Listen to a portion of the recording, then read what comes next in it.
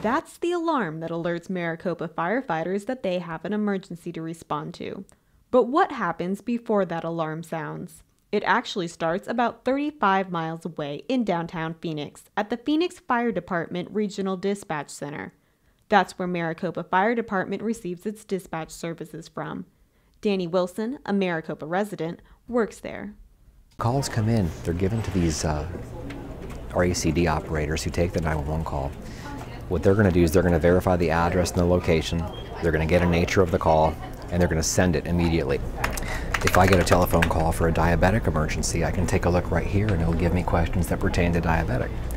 Are they alert and acting appropriately? When did they last take insulin? Uh, when's the last time they had a meal? Uh, has he or she been sick lately?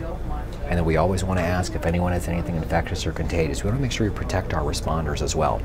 Um, we look out for our patients, but we also look out for our people. We want to make sure that they're safe in all aspects of what they do.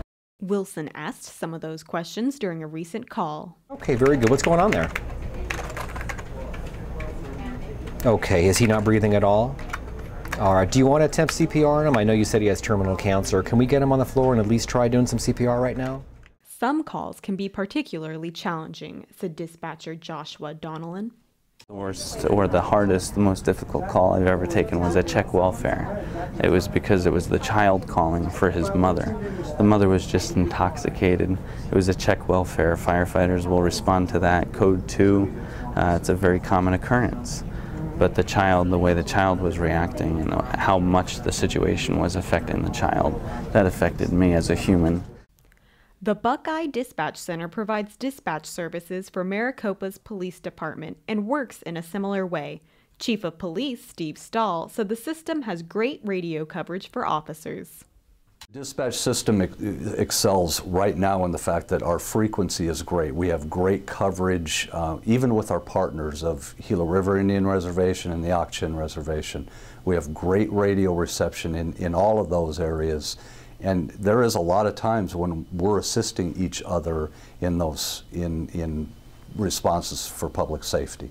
It's very important because some of our investigations take us into either Maricopa County or other areas of Pinal County. So it's very important that we be able to communicate back to dispatch as well as communicate with other agencies in those jurisdictions.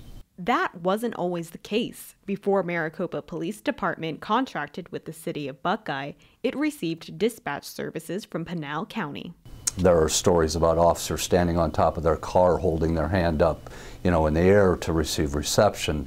Um, that's obviously an officer safety risk and, and one I wasn't willing to accept at the time. But that isn't the case now. Fire and police officials say they have Maricopa residents covered.